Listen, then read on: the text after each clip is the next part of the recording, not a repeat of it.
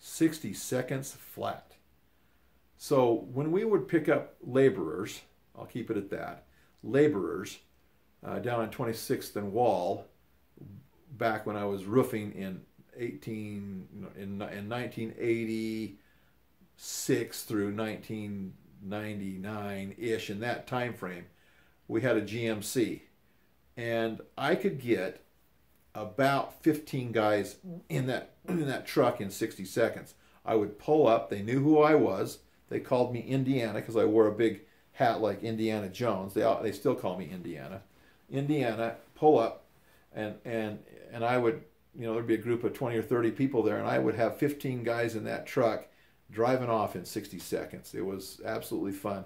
And talk about boy, they could rip a roof off, clean it up in about you know we'd have it we'd have it torn off and removed removed and in the dump truck by one o'clock in the afternoon and then start hot mopping. We had a very very organized crew. So so anyway um, yeah uh, in 60 seconds flat we could get 15 laborers into the back into the back of the truck or into this big gmc dually truck on our way to a job site uh, tear off the roof clean everything up blow everything up scoop it up